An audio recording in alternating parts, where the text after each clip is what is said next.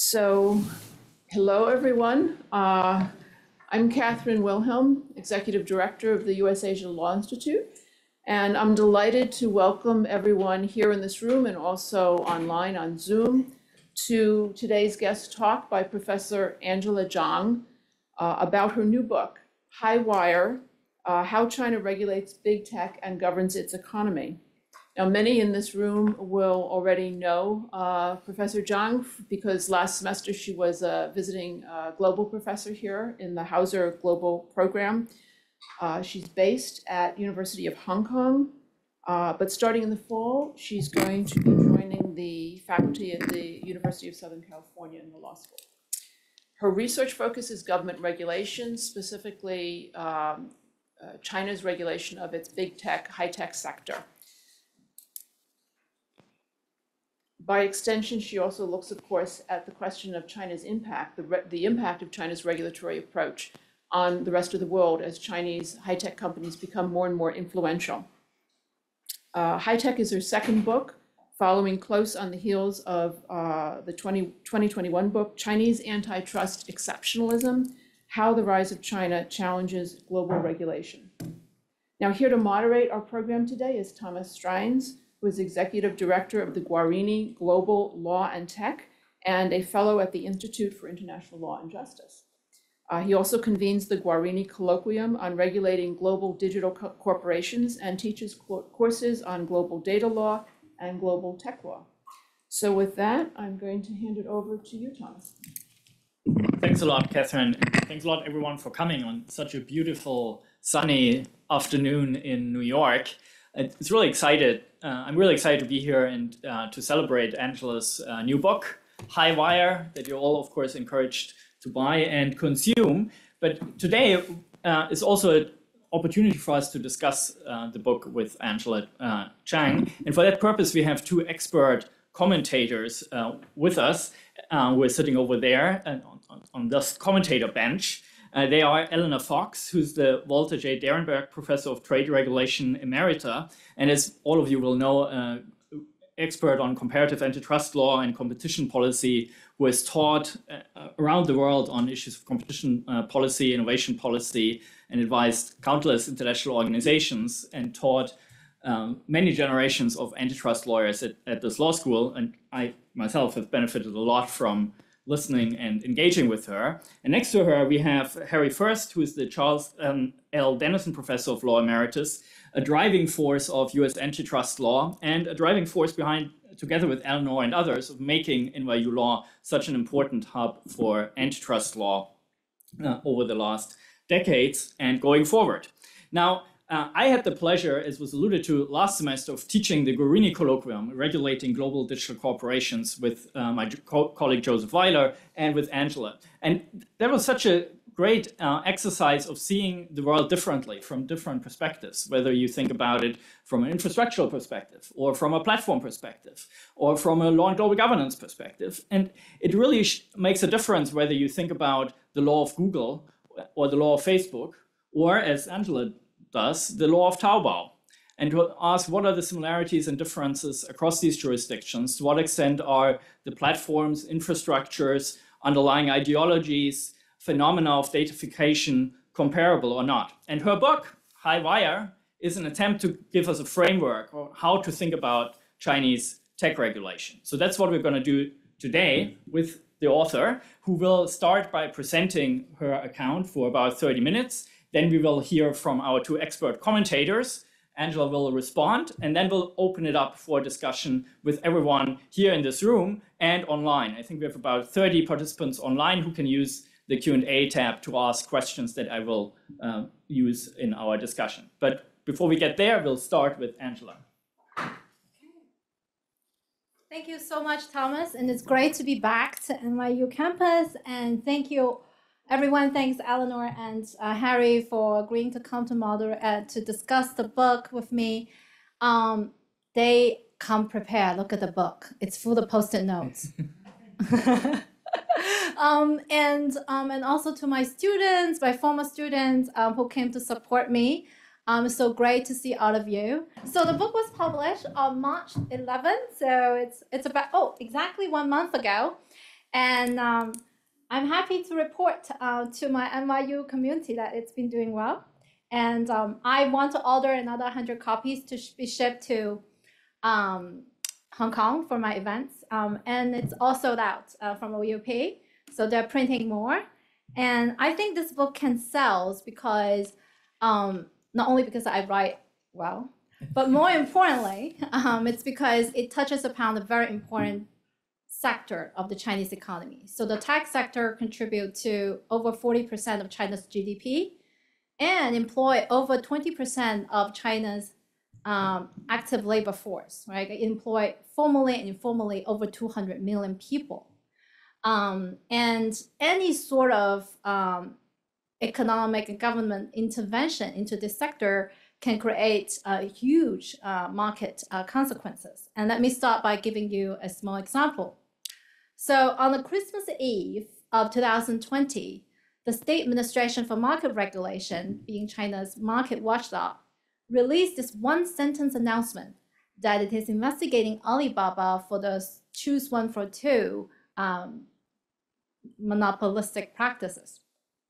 And then 10 minutes later, the People's Daily, the, the party mouthpiece, released a long opinion endorsing um, the SAMR's uh, investigation. So this was seemingly well orchestrated in advance. Now, the next day, Alibaba stock tumbled more than 13%, which wiped out over $100 billion market cap from this company. Okay, so you may recall Alibaba um, ultimately received a fine of 2.8 billion US dollars from China's antitrust authority. But this was nothing compared with the market loss it has already received on the day of the announcement of the investigation. And over the following months, this firm lost over 75% of its market cap. So at its peak in 2021, Alibaba was worth over 800 billion US dollars. And today it really struggled as a firm that is worth only 180 million dollars, right? I mean, so um, so this is what the book talks about. I mean, the book talks about why China wanted to initiate a, a tech crackdown and how they went about doing that, and what are the consequences and any implications uh, for both China and the world. Now, the book not only talk about how China regulate its own tech, but also have implication for those companies operating in the United States. As you know, a lot of the Chinese subsidiaries of Chinese uh, uh, of of Chinese tech firms are doing very well in the states recently, and the most prominent example is TikTok, which is now. Um, I, I, saw already one online uh, uh, participant already raise a question about TikTok's future in the United States, right? I mean, despite the fact that this company deny any links with the Chinese Communist Party of the Chinese government, but nonetheless, it has a very important link with China. It has a Chinese owner, right? I mean, so how China regulates ByteDance, its parent company, will have also have strong implication on TikTok's future, right? I mean, the current bill um, that was recently proposed gave TikTok two choices. Either you divest from divest, uh, sell yourself to a U.S. buyer, or uh, you just disappear from the U.S. market, right? I mean, the Chinese government a few years ago already introduced export restrictions that would that would could potentially um, you know restrict uh, ByteDance from selling uh, its its critical technology to U.S. buyer, right? So how China regulates ByteDance will also have serious implications on TikTok's future in America. So I will start by, uh, so in the following 25 minutes or so, I will start by uh, explaining what is the dynamic pyramid model, which is the central theme of the book, um, explaining China's distinct, distinctive model regulation. And I will use China's tech crackdown as a detailed case study to uh, illustrate how this model work in practice. And I'll, I will also briefly talk uh, about uh, the wider potential wider implication uh, application of this model. Now, if we think about regulation as a system, okay, it's a really highly complex system uh, consisting of three major features. Okay, first we have uh, the structure, and then we have the process, and lastly we have the outcome. Now, in terms of the structure, I describe China's regulation regulatory structure as very hierarchical because it involves players from different tiers of the Chinese uh, society. Now, in terms of process, I describe it as very volatile, almost like very erratic. I mean, characterized by cycles of regulatory tightening and regulatory easing. Now, in terms of outcome, I use fragility to describe the outcome. By fragility, I mean that very often, you know, well-intentioned regulatory measures can generate vast unintended consequences. So that leaves the policymakers like in a constant game of a whack-a-mole because they have to try to deal with ongoing regulatory crisis. And then we can look at each of these feature uh, one by one. So let's start with hierarchy. Now, in terms of tech regulation, we see there's four major players in uh, China's regulatory system. You have the top leaders, you have the regulators, the firms, and the public, or you know, platform participants. Now, despite the fact that the top leaders are very strong and powerful, they nonetheless need to delegate most of the work to the regulators who are in charge of implementation of the day-to-day activities. Now, what makes the Chinese regulators particularly distinct um, in the Chinese system is that they either do very little or they do too much. Okay. Why do they do very little is when the policy signal from the top is not very clear or what they're supposed to do kind of will be deemed uh, inconsistent with the top's policy, then they will try to do as little as they can, okay? Because they don't want to be seen as carrying out an enforcement in contravention with Beijing's initiative. However, when the top leaders send out a very strong policy signal, then they were trying to do as much as they can because this is a point they need to demonstrate a loyalty to the top. They need to show that they are, you know, uh, uh, responsive and reactive to the top's initiative. So they were on the side of doing a lot. Okay, so that leads to a paradoxical phenomenon that they either do very little or do too much. Whereas at the firm level, firms tend not to challenge um, the regulators in China due to strong power imbalances between the government and the farms. Um, and as to the public, their voices tend to be mute, muted um, because of censorship and um, information control. Okay. So as a result, you know, these four players uh, are organized in a highly hierarchical manner, and regulators are only accountable to the top, but not to the bottom. Now, in terms of the policy process, um, I just use volatility to describe um, um, these cycles of regulation that we often see. And in Chinese, we have the saying that 一抓就死,一放就乱. Basically, if you loosen up, there will be chaos. But if you tighten it, there will be death. The reason is when you know you loosen up the regulation when it was very lax, then you know chaos started much. But regulators didn't really take actions until things got very bad. And when they started get take action, they were so drastic and so heavy-handed. Then it tends to lead to very strong market backlash, and that leads to severe uh, economic downturn that eventually will prompt the regulators to uh, to start uh, the regulatory easing, right? So we see the cycles of regulatory tightening and regulatory easing. And the China's tech regulation offers us kind of like a perfect case study, although it's a very sad story, but from an academic standpoint, it's a very good study. So now we see there's four major players in this hierarchy. At the beginning, uh, the top leaders were very supportive of the platform development. So nowadays, you heard the Chinese say talk about AI Plus initiative, but back in the days, there was this Internet Plus initiative. So the top leaders were very supportive, uh, uh, uh, trying to nurture the, the growth uh, of the platform economy or the sharing economy. And the platform know how to take advantage of such policy support by lobbying the regulators and the top leaders. So despite the fact that you know problems started to emerge at the platform level, there were a lot of complaints to the regulators.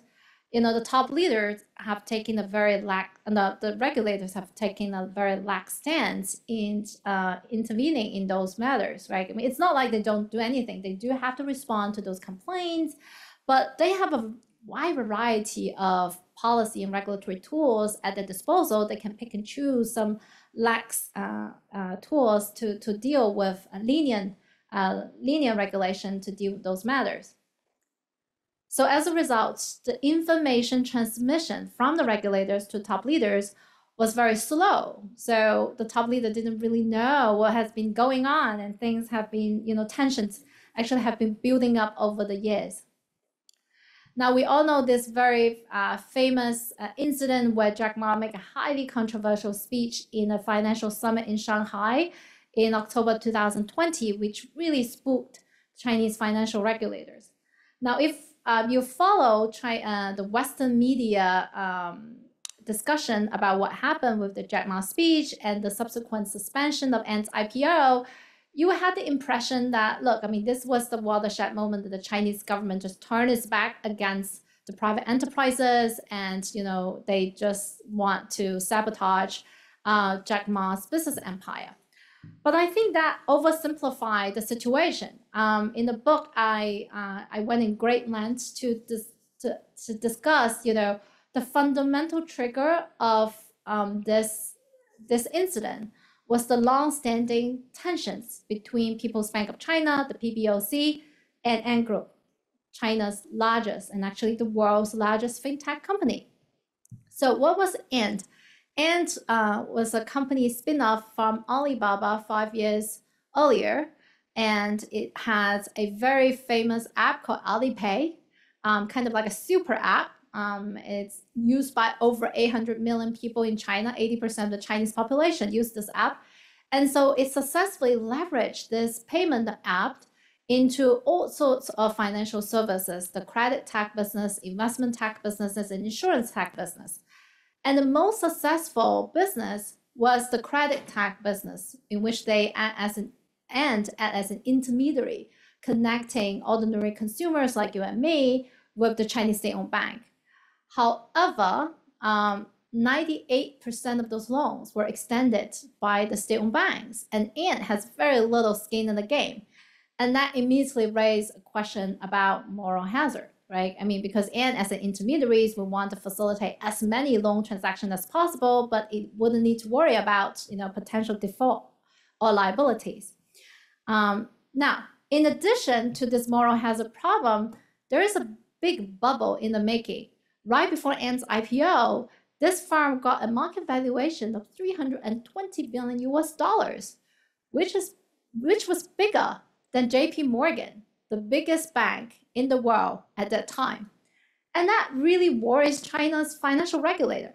Wait a minute, this firm was just spun off from Alibaba five years ago, and now it's bigger than JP Morgan, right?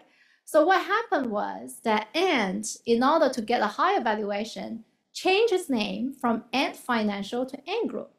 Um, because as a financial institution, you can't get very high valuation but you can get four times as much valuation if you are identified as tech firm. So Ant says, I am not a fintech company. I'm a tech fin business. Okay. So as a result, it got a really high market uh, valuation, and that worries the regulator of not just a moral hazard problem, but you have a big bubble in the making, and this thing is going to pose systematic risk to the uh, China's financial stability. So I think this is really what's happening. But Jack Ma's speech really spooked the financial regulators because it directly challenged their authority. And what changed at this point is that there was no longer information asymmetry between the regulators and the top leaders, right? I mean, they reported this matter to the top leaders who decided to initiate a massive enforcement campaign uh, against um, the online platforms. So this campaign spread it like wildfire, starting with Ant's uh, IPO suspension and then spread through all sorts of sectors in the Chinese internet economy, right, affecting Alibaba, the e-commerce business, and later Didi, ride-hailing, and online tutoring, right? I mean, so almost everybody in the internet economy was affected, and it was during this time the um, President Xi introduced this highly controversial sl- slogan called common prosperity, which worries a lot of the international investors that China is going to roll back its market reform and go back to communism. But if you think about what the government has been have been doing with this tech regulation, right? I mean, one of the most important things they're trying to achieve is that they want to empower those platform participants to better negotiate and bargain with the platform, right? So in a way, that also help the top leaders achieve this equality goal and cultivate mass support. Okay. Now, however, starting from early 2022, the Chinese economy was doing very badly because China had been in economic lockdown for two years. And in February 2022, there was um, the Ukraine and Russia war. And then uh, investors start to worry that China might be in trouble for, you know, extending uh, aid to uh, uh Russia. And, and, and in March, um, the, uh, when some Chinese company listed in the US uh, faced potential delisting risk, there was a massive sell-off of Chinese stocks. And at this point, the Vice Premier Liu He convened an emergency meeting, uh, gathering all the major Chinese central ministries and sent a very strong easing signal to the market that we're going to ease tech regulation. And you saw the next day, the stock of Alibaba and Tencent rebounded 20%. And we see that ever since then, lawyers don't need to work on the weekends um, um, as they used to in the previous 18 months and then they return to routine and uh, normal enforcement. Right. So that leads us to the third major feature of China's tech regulation about the outcome. What happened? What are the consequences of this crackdown? Right. I mean, it's kind of like a roller coaster. Um, well, how we how do that that brings us to how do we measure a resilience of a particular regulatory intervention. We look at two things. One is the potential unintended consequences, those side effects, and the other is the information lag. What I found with the China's distinct model regulation is that they tend to generate very strong side effects and long information lag. Okay, look at the tech crackdown. In within a few months, it wiped out over a trillion dollars market cap from China's largest tech firms. Alibaba and Tencent each lose over 60 to 75% of their market cap. These are the biggest tech firms in China. And in turn, you saw the state sector started to advance and filling in the void that was left by the Chinese firms, the, the tech firms, because the tech firms were asked to exit from those non-core operation business to reduce the influence in the tech uh, sector. And it was also during this time that the Chinese state-owned affiliates, uh, some of the state-affiliated funds started to aggressively invest in the so-called golden shares of Chinese uh, social media platforms, um, companies like uh, subsidiaries of ByteDance, uh, Alibaba, Tencent, right? I mean, so that's why you know, there's a reason why Americans are worried about TikTok, right? I mean, just think about there's a sister company of TikTok in which the Chinese government did own an, a piece of ownership, right? I mean, has a golden share. By having a golden share, the Chinese government can appoint a representative to the board of those firms and um, exercise veto power over important corporate decisions like M&A and IPO, right? Um, and government only need to uh, get a very little leverage, one or two percent, and, and have that and have that um, control in the firm.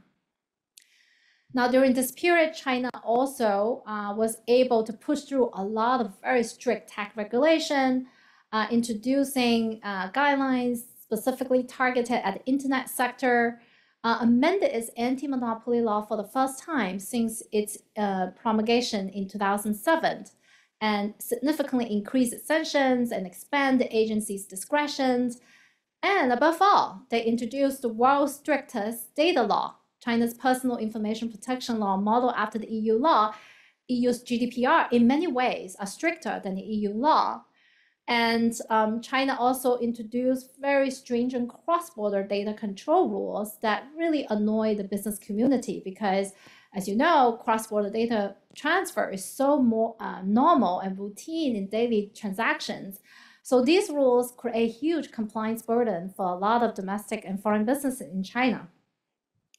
So although the crackdown was short-lived, it has led to long-lasting institutional changes, right? I mean, so in the book, I have a slightly more sophisticated diagram than the one I showed you earlier. Um, most important thing, the most important takeaway of this diagram is that you see these three features, they are interconnected by feedback loops, right? I mean, so when you have hierarchy, it tends to lead to volatility because of three sources of driver, right? Chinese top leaders are very adaptable, just like the man walking on high wire on the cover of the page. He needs to constantly balance competing interests. Um, and second, there's a lack of checks and balance in the Chinese regulatory system, as you see, you know, how agencies can the antitrust authority can complete an investigation into Alibaba and also fine this company $2.8 billion within four months. That's unthinkable in the US system.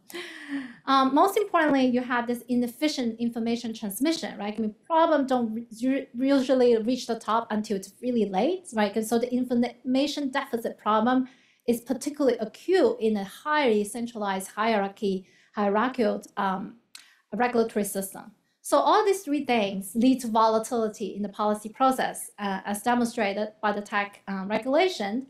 And volatility in terms affect fragility, right? Because when investors see such erratic, such dramatic regulatory pendulum swing, they become very risk averse, and that tend to amplify the side effects. That's why you see, you know, any sort of regulatory intervention create huge market uh, backlash. Now, what is interesting is that fragility also affects volatility because in the aftermath of the crackdown, investor sentiments are very low and they are very risk averse. So they are very nervous about any sort of news coming out from the regulator. So last December, when China's gaming uh, regulator introduced a set of new gaming rules to try to curb gaming activities, that immediately generated a sell-off of China's major gaming firms, wiping out $100 billion of market cap from, you know, some of the biggest gaming companies like Tencent and NetEase. But it was never the intention of the gaming regulator to initiate another crackdown. I mean, they just saw it as another routine business that they need to introduce another set of rules. And that was the whole point of introducing the rules, the draft rules, was to solicit feedback from the industry. However, because investor sentiments were so bad at the moment, right, because of the side effects we're talking about, that immediately generated this strong market reaction. And what happened was the regulator immediately came out and said, we're going to sack this senior official introducing the rules, and we are going to revise the law. So within a month, this draft law was completely taken down from the Chinese uh, regulate gaming regulators website. It just disappeared. Okay, so you see fragility in terms lead to huge volatility in regulation. But most importantly, I think the most important finding of the, the, the tech crackdown is you see that fragility in times also reinforce hierarchy because as the private sector retreated from um, the, the Chinese economy, the state sector has advanced, right? I mean, they have more aggressively buy, buy out more assets in the economy, they were able to strengthen the control over tech firms by using golden share scheme or you know using the new regulatory tools that they added, um, right? I mean, all these new laws and expand the agency capacity. So now we have a feedback loop, a very clear feedback loop that hierarchy leads to volatility, volatility leads to fragility, fragility in turn reinforce hierarchy, right? So we are stuck in a vicious cycle. So I think this diagram also has some predictive power of what will happen with China's future tech regulation, right? I mean, unless we break this cycle, break this vicious cycle, right? I mean, we, we loosen up the hierarchy. Otherwise, we will continue to be, be stuck um, in, in this um, dynamic pyramid model of regulation. Um, now, that uh, bring me to the last point about the potential wider implication of um, this book. I don't think the dynamic pyramid model is specifically tailored to uh, tech regulation. If you think about it, this model can perfectly be applied to explain all sorts of major policy challenges that China is facing, has faced in the past few years. I mean, think about China's COVID lockdown control, right? Um, the property crisis that China is facing at the moment. Property is another very important sector of the Chinese economy, contributing to over 30% of China's GDP. And it's direct trigger for the slowing Chinese economy at the moment. The 2021 energy crisis, as well as China's demographic crisis. We can use this model, and in the book, I actually, you know, use this model to elaborate on how this applied to them. Let me just bring out um, I think I'm a little bit over time, but just very quickly mention the COVID lockdown. As you may recall, at the very beginning of the lockdown, there was no, uh, at the beginning um, of, of the COVID, uh, when the, this disease first emerged, there was no pandemic control at all. The Wuhan government did nothing. Uh, in fact, what they did was to suppress information and to punish the whistleblower because so, so you saw very lax measure in the first stage, and at the same time, the Wuhan government was reporting this matter to upstairs, right? I mean, so because they want to get the clearance from upstairs before decided what to do, but it missed the golden opportunity to control this disease, and it waited for weeks to get clear instructions. By the time it got the instruction, and then they initiated this massive lockdown it's already too late. This thing has spread all over the world, become a global pandemic. Yes, China was able to get things under control within a few months with a very costly and very dramatic lockdown, but it came with a huge cost, right? And then at the later stage, when Omicron emerged and it's proving extremely difficult to continue to stick with President Xi's zero COVID policy, China wasn't backing off from that policy until it's really, really late that it had generated massive protests and a lot of business complaints. And then overnight, all of a sudden, they relax um, all the pandemic controls. And, and, and that, again, you know, that dramatic easing, regulatory easing led to a very costly COVID exit, right? I mean, so that was another example where you see this huge regulatory pendulum swing. And um, now, but I want, want to clarify one thing is that this is a long-standing pattern of China's regulatory uh, governance. But what really changed and why we see more volatilities and more fragility in regulatory outcome in the past few years is because the hierarchy has tightened, right? So there's not a qualitative difference here. There is a quantitative difference, right? I mean, so unless we loosen up the hierarchy, then we will continue to see more volatility in policy process and more fragility in policy outcome. Um, so let me stop here. Um, I would love, really love to hear feedback uh, from my um, from Harry and Eleanor. I mean, both are dear mentors to me. Um, so and also from the audience. Thank you.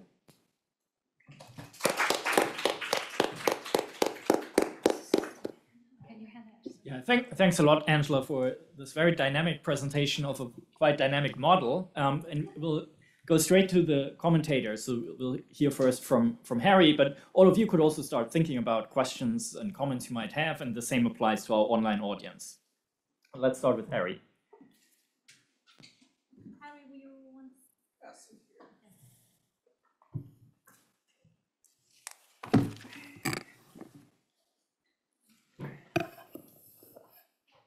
Hi, everybody. If the Benedict's waving, you could at least wave, you know, say hi.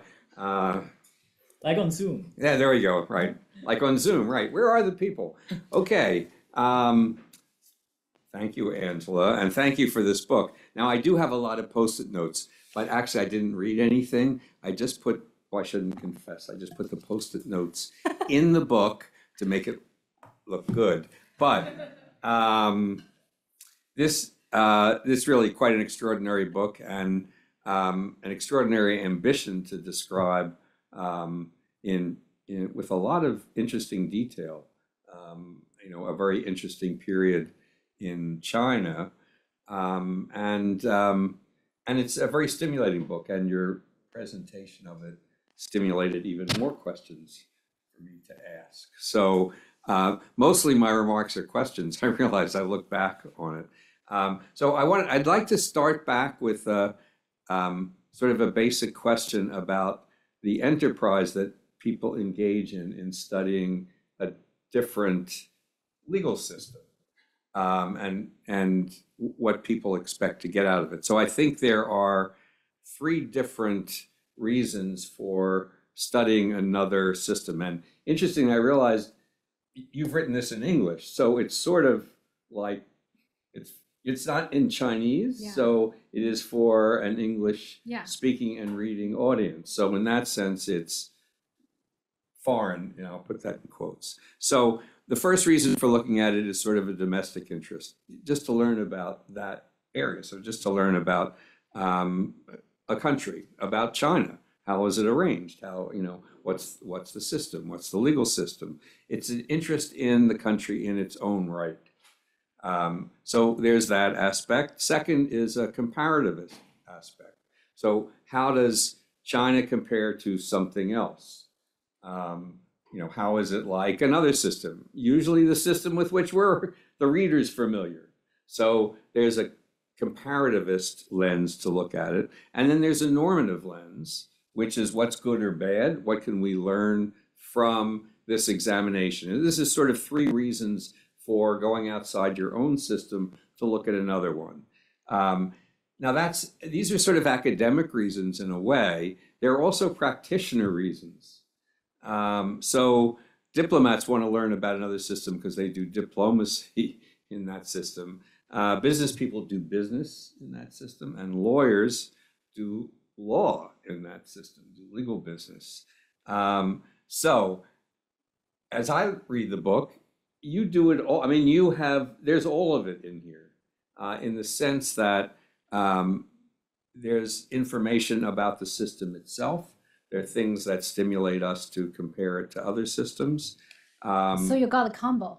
it's it, this is a trifecta. Well, it's a fourfecta uh, because here's um, so the very first paragraph. This is it's really bad when you're reviewing something. You usually take this is a hint, by the way, if you do it. Take something from the middle of the book. So you know it looks like you read up to the middle, but I want to take something from the very first paragraph because I think it really does set the book in a very interesting way and tell us what it's about. So, how does China regulate its big tech? Is I guess the it's in the first paragraph. Far from being a question only for academics, it's of interest to Chinese business and international investors. So I think this is your ambition. It is a big ambition because I think you the book does satisfy academics who are interested in those three things as well as lawyers or investors who were trying to figure out what the hell to do um, and understand the system. Now, I want to spend a little more time on the first sentence because I think the key tells about that help help me think about those questions are actually two words in the first sentence. You didn't think it was going to go quite to the every word you write. Okay. So the first sentence how does China regulate its big tech? One word is regulate. The second word is its.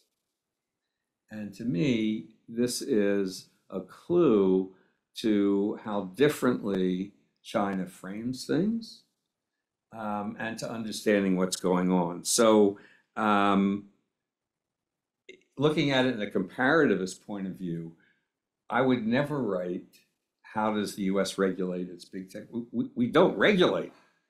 And that's even a bad word, but we wouldn't think of our system as necessary. You know, the question is, are we going to regulate big tech? Not do we? So that's the first thing. The second thing that's also interesting is the its, the possessive. So um, its assumes that these are Chinese firms now owned, not owned in a legal sense, but owned in a practical sense. They're China's firms. Now, if we were going to write this in the US, I don't think we would write, even if we regulated, how do we regulate our big tech, right? Now, it just so happens that it's all ours but it's not really because there's China, there's South Korea, there's Japan, there's a big world out there. But so when we think about regulation, we don't, we think about regulating the firms that show up. The fact that there's an acronym problem now, it's GAMMA, you know, Google, Apple, Microsoft, um, uh, Meta, and Amazon. All right, those five firms. How do we regulate it? So the US doesn't like to think of it as their firms. I'm not sure, maybe that's a mistake, actually, uh, because of the importance of these firms to our economy. But think about it if you're a European and looking at this. How does Europe regulate its firms? It doesn't have any. Not, okay, maybe a little exaggeration, but the firms that are focused on in the DMA are all US firms. So these are very different frames around which this system is put. And it's in the first sentence. Um, so um, let just to go a little bit on um, the three different perspectives, the finding out about China. And interesting, you mentioned a word about pattern. Um, there's a book written by, um, I think it was an anthropologist, Kurt Singer, called Mirror, Sword, and Jewel, written about Japan. And he wrote that um, what he was trying to identify was the pattern of patterns. You know, something that sets the pattern for every other pattern. And as a way of trying to understand Japan, and I think you can try to think about that uh, for China because one of the questions you just raised, and a question I sort of didn't think about but now do. So, this dynamic pyramid model is that the pattern of patterns such that that is the way China operates?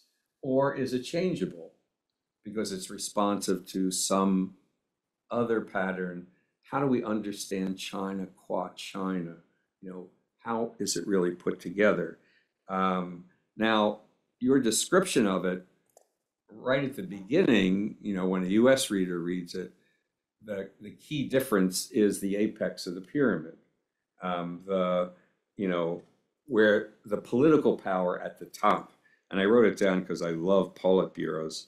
The Politburo Standing Committee of the Chinese Communist Party is the political leadership defined at the top. Well, um, however cynical one is about the US or however one views things in the US, it'd be hard to find an apex like that for the US. It would be a truncated pyramid. The rest of it's actually, you know, sort of familiar regulators, the regulated firms, the, the whatever stakeholders there are, those three parts of the pyramid, but not the top.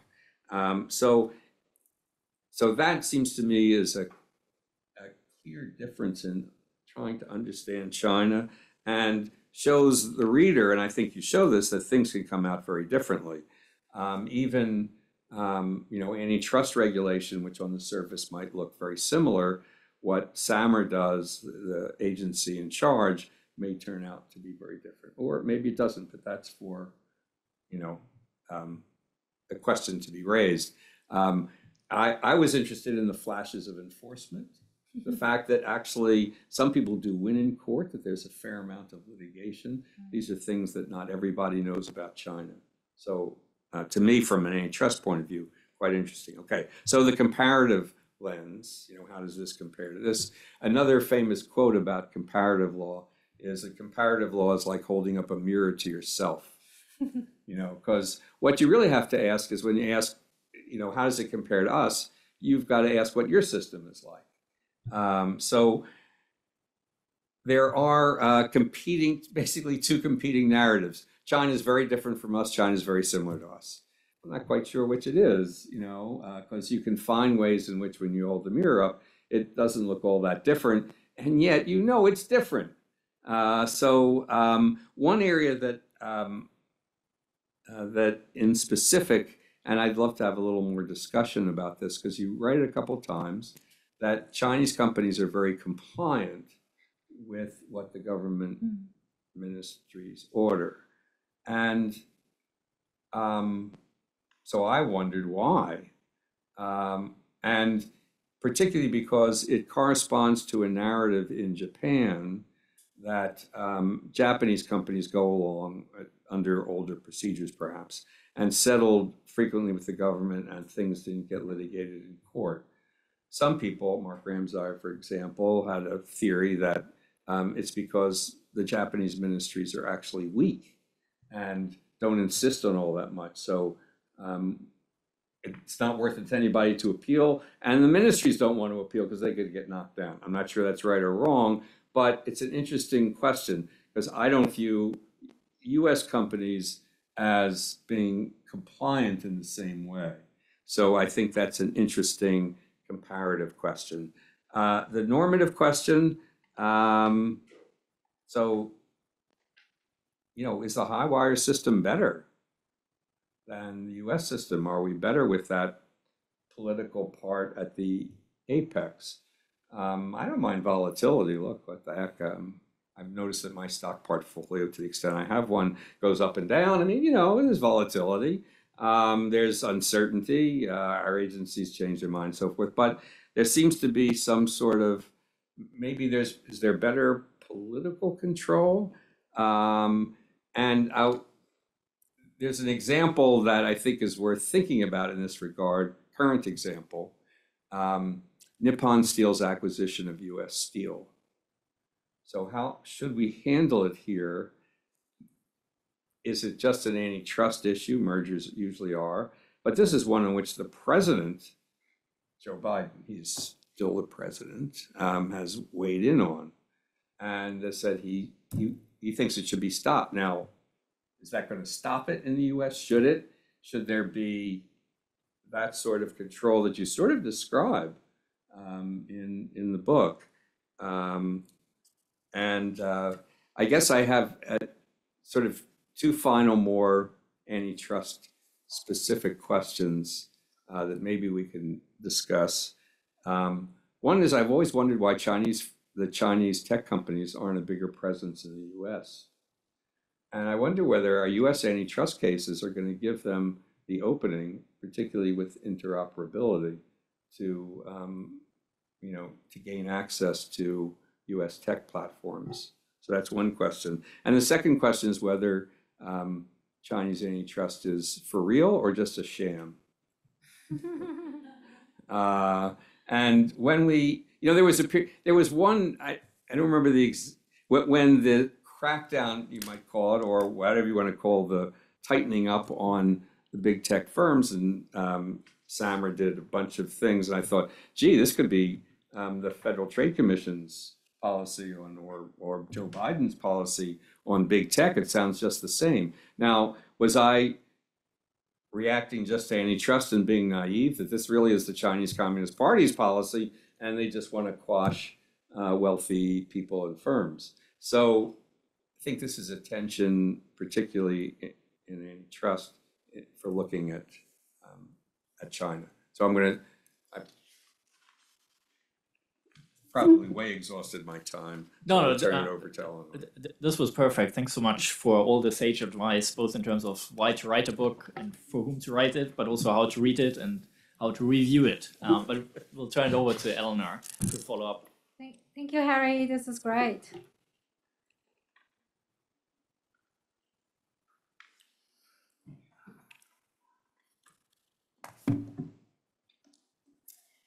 So, hello, everybody. Good to see you. Um, Angela, thank you. Um, wonderful book. Um, Thomas, thanks for inviting us. Very nice to be here. Um, so, I take the project as basically a political economy project. And in political economy, the underlying question is who controls the market, the firms, or the government? And I'm going to come back to this because, of course, China and US have a different configuration, which is um, embodied even in your dynamic paradigm. So I am going to make comments in three parts. And my first part is about the paradigm. My second part is a little contrarian to most of what we've heard today, which is wow, what I read on China is so much alike what is happening in the United States and in Europe. And then my third quick part is to say, comparatively, um, what is at stake? In US, we say, in Europe, we, Europe, US, et cetera, Western world, we say, how can we control big tech? And what is at stake? And just briefly, and this will sort of be in conclusion, US, EU, and China. So, first of all, talking about your paradigm, uh, which is very interesting, I would insert the market. I think the market has a big place in that paradigm. And if I do a paradigm that's somewhat similar or comparable for US, obviously, the market has a big place. So in China, I mean, obviously you're right, and it's very interesting the way you pose it. The party, the regulators, the I insert the market, firms and consumers. Ever since about 25 years ago, when the, when China said we're going to use the market, we need to use the market to make people better off because they're not as well off as they could be. Um, we need the market even to discipline the state-owned firms. We need the market for innovation. We need the market to enhance our economic presence as a leader in the world. So the party, the regulators, the firms, the consumers, let's do a US um, comparator paradigm. Of course, we don't have the Communist Party on top, but we do have a lot of industrial policy. And under that, uh, we do have regulators. We have the market bigger, perhaps bigger than China as, as a power source, but maybe not. I mean, this is the big question I want to come down to of the market and the firms and the consumers. But that's relatively similar if usually the market works and usually the Chinese authorities don't reach down and decide what they want firms to do and how to control them. And indeed, from my work with Chinese law and studying what SAMR does and its predecessor competition agencies, um, the Chinese competition agencies are very savvy, well informed on how to get good market results by applying their competition law. And before we came into the era where big tech dominates the picture, I would say that it was relatively rare when the party reached down and said, I want this result, rather than what normal international standards of antitrust will give us. Let me go on to my point two. I read your, I, I read, oh, look, I have some um, evidence also, but I used green tabs, Harry. Um, I, I, read selectively and then I read the antitrust chapter carefully. And that's chapter four. And when I read chapter four, I said, this is about competition. It's about how firms behave. I said, this sounds exactly like US and Europe in terms of the extent of the competition, the intensity of the competition, the moves that big tech, tech make, both for the good and for the trying to preserve their domain, and the response of the governments, sometimes first lax and then, then more intrusive, and then saying, oh, and we also think we need guidelines. So similar. Um, I, I loved your description, and in fact, throughout the book, you have great factual description of exactly the kinds of competition, the way in which these firms are at loggerheads with each other. And then, oh, the way in which they snap up, as they say, vacuum up all of the startups who could be competitors to them, um, building the moat around them the way in which they try to prevent interoperability, because interoperability is the thing that makes, breaks the back of power. If consumers can just turn to another system easily, uh, if they can put their data to another system. That's what creates competition and usually creates more innovation and stronger economy. Um, so the big tech in China, even though they're protected a lot because of government regulations from the foreign investment, um, they do compete, they vacuum up the competitors, they impose the clauses such as choose me, uh, one of two, you choose me, you don't choose my competitor. The most obvious anti competitive clause that you can imagine. And that is the clause that comes to be called when China starts to become less lax and say, yeah, we want to enforce antitrust. That's the clause that so many people call a crackdown. And to me, is so incredible that it's called a crackdown. To me, I would say, so China recognized that the firms were actually not as competitive as they could be because they're imposing these restrictions. If you choose me, you can't choose my competitor. It means you cannot multi-home. If you cannot multi-home, there's very little competition that will control the power of the firms, and competition can control power. Um, China has the additional um, aspect of wanting security and control, whereas US, Europe, freer, freer markets, um, jurisdictions don't put security on the list. They put chaotic competition is great. It's going to cause the firms to shape up, give consumers what they want, control power. Let me go to my last point. Um, because, oh, oh, yeah, I had a, just to add first, even to the extent of lobbying, just the, uh, the big tech Americans learned to lobby. They're putting billions of dollars into lobbying as soon as they see the government on their heels. And the Chinese government, the Chinese tech lobbying as well. Um, Jack Ma comes in here because even though it may be that Jack Ma's hope for IPO was going to threaten financial stability, Jack Ma, it seems to me, I think we've had this conversation, and, and I think you agree with both sides. I mean, both. Maybe China was worried about a financial bubble. But Jack Ma was basically saying the private market is strong and powerful and could do many, many things and can get and you can get really rich on it, which has for China both ups and downs. And the market was threatening the party.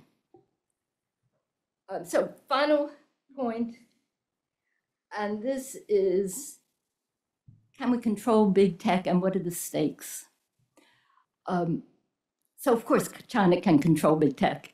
In US, Europe, in freer markets, that is the framing, can we control big tech? In US, can we control big tech? What do we want to control? What are the really high stakes? Well, really high stakes, this goes for Europe too. Fear that big tech is overtaking our lives, going to control us, controlling how we think, um, controlling information and making it disinformation, um, affecting juveniles to do horrible things like suicide. Um, also, it has too much power. Power can be controlled by antitrust, but only so far. So, are we controlling big tech in any significant way by antitrust? We're trying, this is we, US, we're trying many cases in the pipeline. Uh, will they come out with any significant control? Maybe not.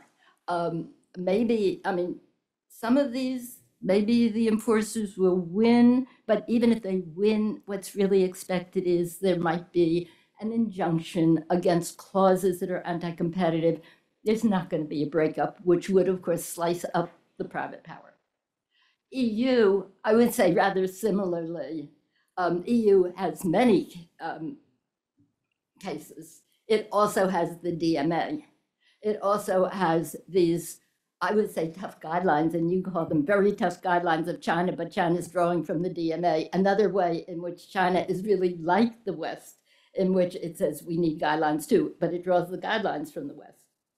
Um, Margrethe Vestager, who is the head of competition in the EU, maybe for a crowning uh, legacy, would love to break up American big tech and has said so recently, but she's not going to do it. Um, so in US and Europe, we're left with concern um, that we may not control big tech and and therefore the fear that big tech will still control us and therefore the fear that that will harm our democracy. A big part of the american and european fear is big tech is destroying democracy by shifting control to the power of these few firms. And now we go to china. And my goodness the answer is totally different because what does China fear? It obviously um, is not trying to save democracy because they're not a democracy. China fears that big tech will push back the power of the party, possibly topple it. I mean, I see Jack Ma as really, what do you call it? Like putting the glove in the ring or something, laying down the glove.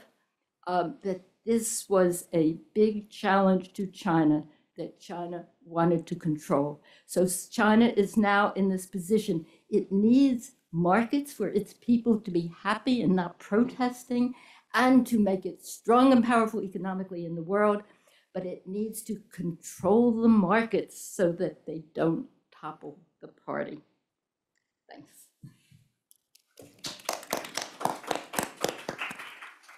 Thanks a lot. Thanks a lot, Eleanor. So we have uh, really rich comments that speak both to the expertise of our commentators, but I think also to the book that raises so many questions about uh, the right level of analysis, what can we get out of the dynamic pyramid model, what can we get out of comparative analysis, and what are the normative implications. So um, I'll give the floor back to you to just react to what you would like to react to before we open it up to a broader Q&A. Yeah. So the good thing about the very rich discussion from Harry and Eleanor is that I can pick and choose um, the question that you asked me. But I do see the common theme in your discussion is like, you know, is China really different from the U.S. and how how is it different from the U.S. or are they struggling with the same problem? Look, I mean, I think. Um, now, one thing I want to highlight um, for those audience who don't know the Chinese tech sector very well is that China is really the only country so far that have been able to foster tech giants that can rival the U United States. Because if you look around in other countries, they all have U.S. Uh, tech firms, um, you know, successfully conquering their markets, but not in China because of the various trade barriers that the Chinese government has erected, like the Great Firewall, that block the U.S social media businesses from operating in China, and that partly also contribute to the flourishing of China's indigenous uh, domestic enterprises. Um, but um, you know, but China and the U.S. Uh, or Europeans are struck. European countries are struggling with the same problem of how do we, you know, govern and regulate these big tech firms. And as Eleanor and Harry pointed out, I mean, a lot of the problems actually are very typical and standard antitrust problems. And um, if anything, the problem in China got way more severe. Um, the market um, is way more concentrated. Um, you know, here, Lina Khan write about Amazon's antitrust paradox when Amazon have about 30% market share in the United States. Alibaba at its peak has like 80% of market share. And like Didi, the ride hailing in the United States, you have Uber and Lyft. In China, there's only Didi, right? Have 90% market share. So our tech sector is way more concentrated and partly not just not due to the fault of our tech firms, but more because of the government's inactions and um, bureaucratic inertia. So, so in a way, you know, government failures also contribute to a lot of the market failures that we are seeing today. And um, the top leaders, for the most part, like i don't is, is absolutely right to point out, you know, at the beginning, there's they these are not the matters that can reach the level of President Xi Jinping, and then these are the routine agency actions.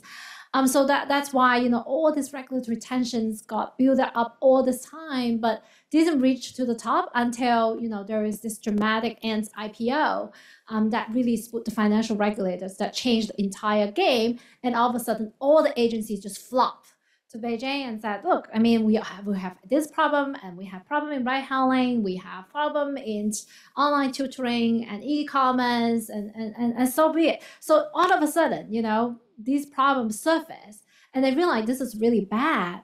Um, but these actions are actually long overdue. I'm not blaming the regulators for um, so from tackling the problem, but however, the way they tackle is a problem, right? Because the lack of checks and balance, right? There's almost no judicial oversight of any of these agency actions, right? Agencies just march ahead and then do whatever they want. And firm have just gave up and, and very little resistance. And and that just reflect this strong power imbalances in the Chinese political economy where you know the government is really having the upper hand and business don't fight at all. They just gave up, right? I mean, un- unlike here. So there's the, the judiciary played no role in counteracting agency overreach. And so it's very natural that the agencies uh, move, gone too far. Um, you know, to put it diplomatically, these actions are very clumsy, right? I mean, so there's a very little due process uh, involved, and and you know, currently there are four major cases um, FTC or DOJ have brought against the biggest U.S. tech firms. Um, query how far these cases will go, right? I mean, in the past, these business U.S. companies have a great track record in winning the cases in court, and, and court just throw them out, right? But in China, you don't have that. You don't have this checks and balance, and I think that is the fundamental difference between the U.S. and the Chinese system, and and that also explains why investors are so worried and and, and so concerned about any form of regulatory intervention because of their mistrust in the legal system, which does not provide robust support um, for, for, for the stability of the system. So yes, in many ways, China is similar to the US um, in terms of our market structure, in terms of the problem we are facing today, but fundamentally, the regulatory system is distinct um, because of the lack of checks and balance and also the hierarchical um, uh, uh, regulatory structure. However, I'm not saying that U.S. system is perfect because in some aspects of the U.S. regulatory governance, the government executive branch does face very little checks and balance, and that's particularly in relation to matters relating to national security the US government has imposed rounds of export restrictions and sanctions on Chinese companies, right? I mean, so if you think about AI industry, the one of the biggest bottleneck of China's AI development is because we Chinese AI firms cannot get advanced uh, AI chips from NVIDIA due to the rounds of export restrictions from the US government. And you realize in those areas, of government action, U.S. government, you know, the Commerce Department and the executive branch, they can move ahead, you know, with minimal checks and balance, little scrutiny um, from other from other government branches, and and with little resistance from firms, and they can just do it, right? I mean, but there's little oversight of whether they achieve their policy goal. And in fact, there's not even clear what exactly is the policy goal of all these export restrictions and whether it will lead to a lot of side effects. It can potentially backlash. Because what is happening, right, with this export restriction is that they are making it difficult for Chinese firms to access uh, advanced technology, but they can source it elsewhere, right, from the U.S. allies countries, right? I mean, so it end up the U.S. Com- it's hurting U.S. companies' interest because they're not able to sell to Chinese market, but letting European firms filling in the Chinese market share.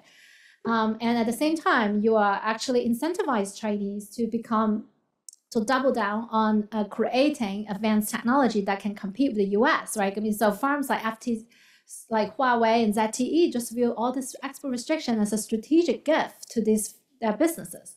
So they are, you know, doing very well, you know, trying to fill in the gap that is left by the U.S. firms. So there's not like very thought out uh, consequence and on the U.S. side of what this export restriction is actually leading to. um, particularly in the medium and longer term. So I'm saying seeing that you know in that respect, the dynamic pyramid model do seem to apply to you know those aspects of the U.S. regulatory governance and control. But you know, query you know what we can do about it uh, at the moment, and and this is a particularly concerning problem. If you think about you know the line between what is national security and commercial application is increasingly blurred, right? Just think about example of TikTok.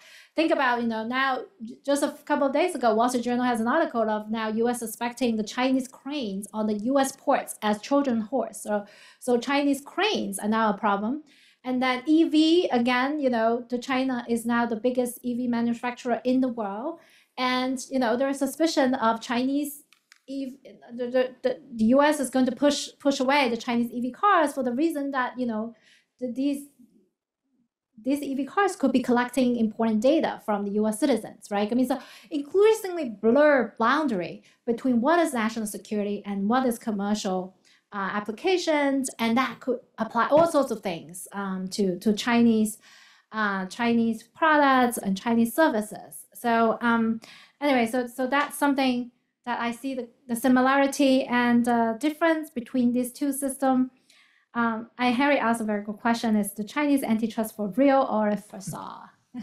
it's both real that um, um, they do seem to be well intentioned to address this problem, but, but however, I think the regulators should be also be blamed for contributing to the problem in the first place for not vetting any single merger uh, for decades and allowing number one and number two farm and number three farm and number four farm to merge together have a 90% market share. And it's like, that's unbelievable.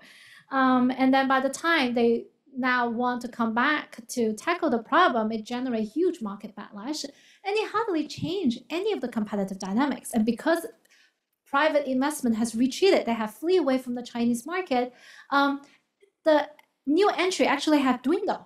Now we have less new entry and and also because the enforcement costs and uh, the compliance costs have gone up, it kind of uh, it kind of uh, disproportionately harm those small and medium-sized farms, make it more difficult for them to compete with the bigger farms. So now we have about two years after the crackdown, we we didn't see any change to the sector, and in fact, new entries have, have become have reduced.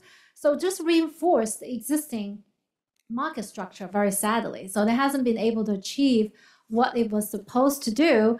And, and, and also, you know, if you think about it, one of the reasons why the Chinese government want to discipline tech firms also is partly want to nudge these companies to move away from this toxic competition, uh, excessive competition, and move towards, you know, those technology areas that is deemed as strategically important to compete with the United States.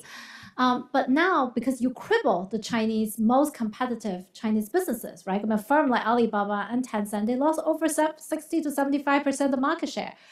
How do they have that power to compete with the US and invest in key and technological areas? So China just kind of, you know, killing its own, um, you know, most dynamic sector and significantly undermine its initial intention to to to to compete with the U.S. Uh, in in those strategic sectors. So it's it is very sad. So I I just think that you know all these measures are well intentioned and but because regulation operate in a very complex system and there's oftentimes unforeseen consequences agencies just cannot possibly foresee in advance and coming with such drastic actions that tend to generate strong backlash. And that's why in the book, I also trying to uh, trying to give offer some uh, positive notes by thinking, you know, what can we do to help mitigate those side effects? How do we prevent this from happening in the first place? I mean, one suggestion I have is look, I mean, because you cannot foresee them in advance, so you should try it step by step. That's the gradualism uh, mindset that the, the Chinese leaders like Deng Xiaoping initially proposed it, like crossing the river by touching the stone. You don't do things so drastically, right? You do it gradually. You try it out experimentation. I mean, that's why we used to have decentralized uh, local uh, governments uh, experimentation and then they try out certain policy and if it works well and then they can be replicated nationally right? I mean, so you don't have to do such drastic nationwide crackdown all at once that really scare people off. And um, but unfortunately, our current political climate doesn't allow us to do this kind of uh, decentralized experimentation. But I but I still remain hopeful that you know if things become really bad, I mean, they might roll back some of the restrictions and also might be willing to tie their own hands and um, and really trying out some serious and positive uh, market reforms and give agency more autonomy, more independence, and to carry out their enforcement. Like what Elena mentioned, I mean, these Chinese agencies are very savvy. I mean, these are highly ambitious and very smart people working in the Chinese antitrust authority.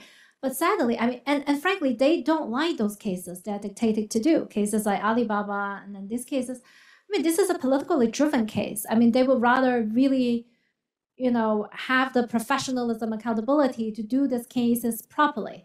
That's how they can build up their career, how how they see the system can grow, and how they see the career can possibly prosper in the Chinese system, rather than being viewed as you know political agent uh, for for the Chinese state. Um, so should I stop here? Yeah, I, I think that's a good moment to stop because that gives us 12 more minutes for Q and A. And you know, there's a lot of talk about competition, and, and one kind of competition we now have is between offline competition and online competition. So everyone here in this room participates in offline competition to ask a question, and we already have uh, some online uh, questions. But I wanted to give um, the attendees here in, in the room a, a chance to ask a question if you have one, and to also see how many there are. Oh my God. Okay, so see, see, we have a lot. So maybe let- uh, what's uh, let's just collect them. So let's get these three questions across the board, and, and then give answer a chance for a quick answer, and then I'll read out some of the online questions. Go ahead. Okay, thank you, and and thank you, thanks everyone. Um, so I have a uh, so I have a question about the tech the tech um, business that we discussed in this book. So I noticed, as you mentioned, um, it's mostly about consumer tech, but as I understand, like there are some other techs which seems more technical and involves more technology. Yeah. That's like semiconductors or EVs, and these are like highly tech oriented, and which is also the area that China is trying to catch up with the Western areas. And also, also I noticed that the Chinese government seems to have a very different attitude towards these industries. Like they generally support them, and like I personally have never heard about Chinese government trying to curb any of those companies like Yeah. Xiaomi or Huawei. Yeah. Like uh, I guess there's some like reasons behind that because like maybe first these like these businesses focus on products which is like pose a less threat to democracy or like to the power of the government also because like like these products are sold internationally so they have to compete with the european and american counterparts.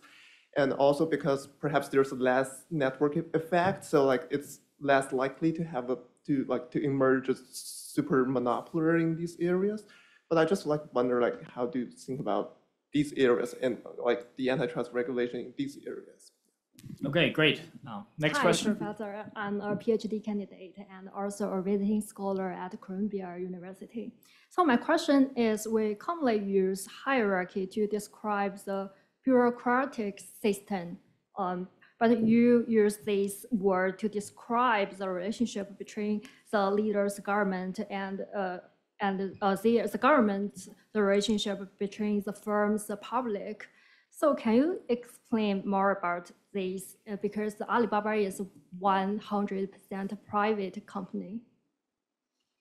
Great. And there was a third question.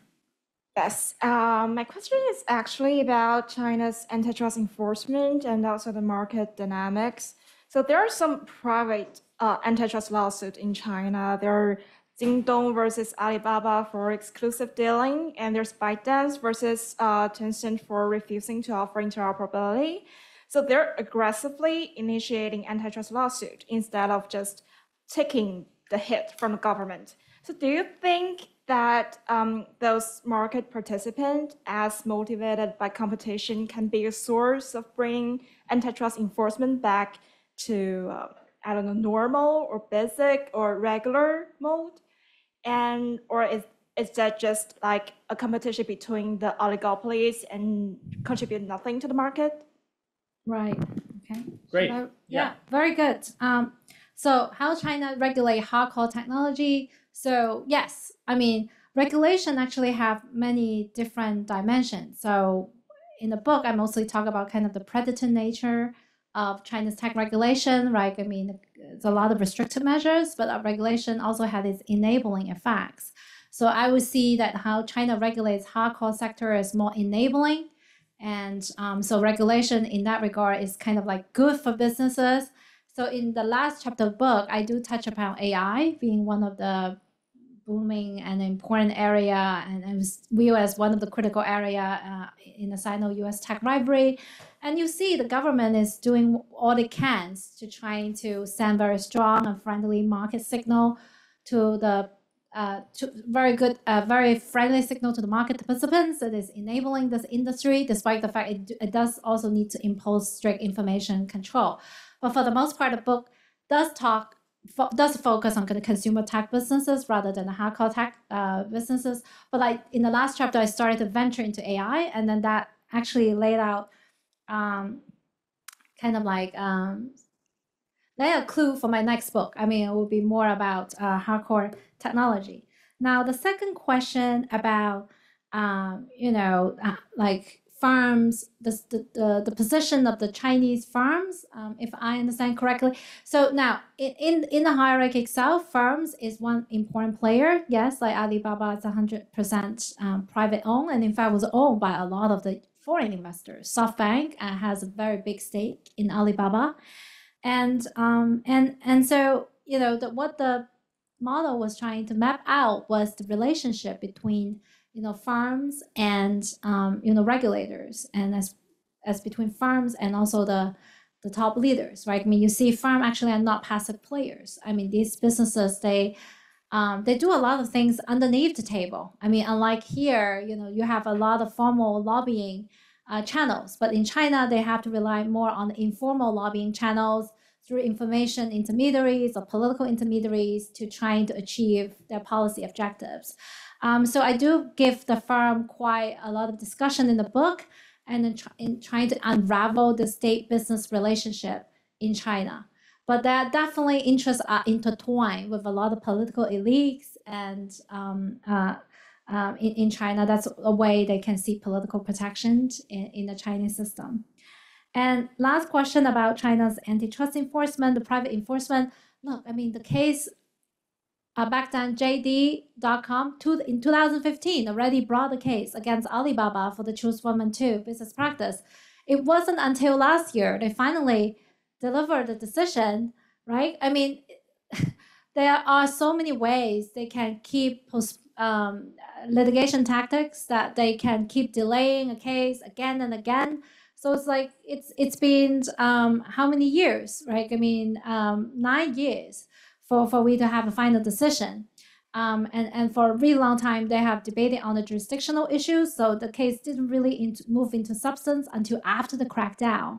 And you see, judges were now able, you know, dare to make a, a decision and also impose a huge fine. I think it was a fine involving, uh, it's it's a very high fine, over a hundred uh, millions uh, uh, R, uh, RMB, right? I mean, it's it's also partly because the policy wind has shifted, right? So we, we haven't had any decision of the interoperability cases uh, involving ByteDance, um, and and so yes, private enforcement is feasible, but let's bear that in mind. The Chinese judiciary is not a very strong actor.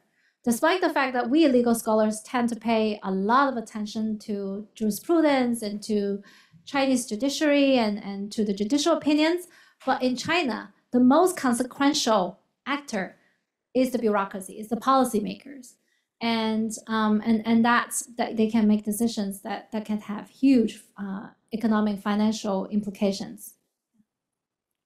Thanks so much. So we have about four minutes left, but I'll still put all the questions on the table that our online audience posed either before the session or, or now using the Q&A infrastructure that Zoom provides, because those questions in a way reflect everything that we can find in this book. So we can zoom in and uh, try to figure out how a certain case study looks like in light of the dynamic pyramid model. So we have two case study questions. One is about the Ant IPO. And the question is to what extent is this about Jack Ma? And to what extent is this about concerns that uh, there's too much shadow banking, creating these kinds of systemic risks that you discussed in your presentation? Uh, so the Chinese government really being less worried about losing control, but more uh, losing control as a political actor, but more worried about losing control over the financial uh, sector as the US did in 2008.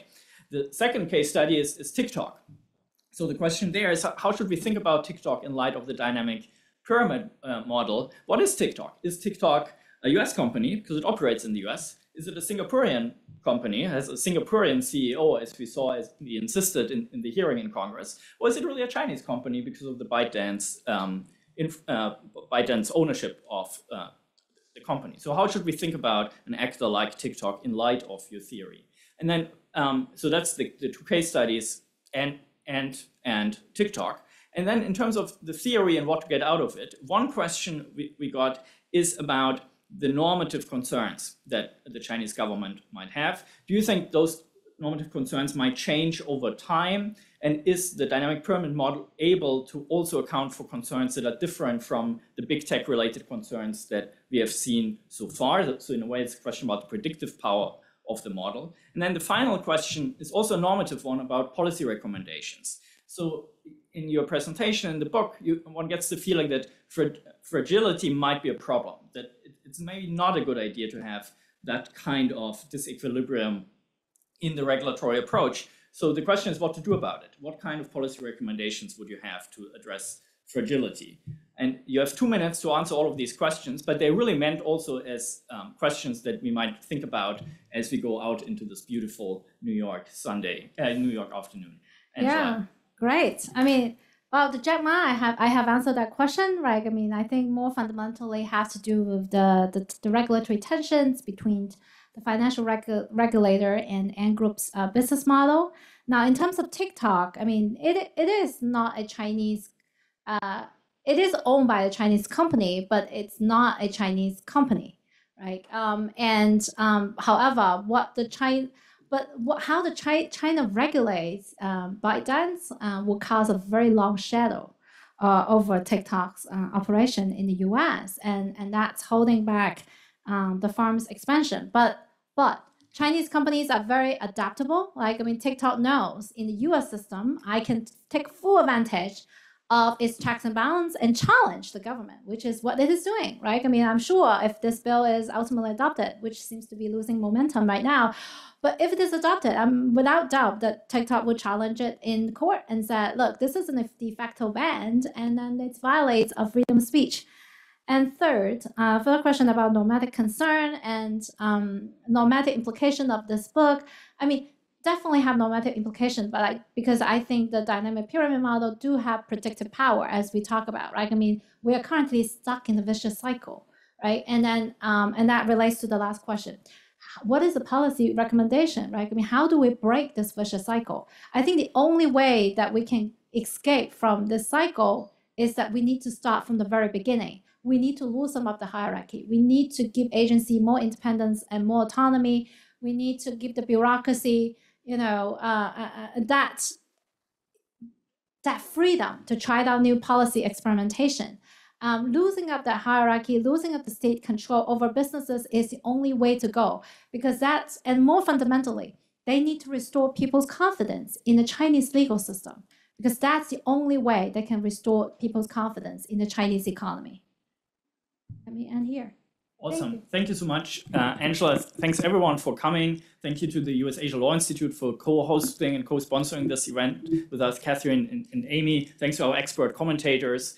And thanks to Angela for writing this book and bringing it back to NYU. Um, thanks a lot. Thank you. Thank you, guys.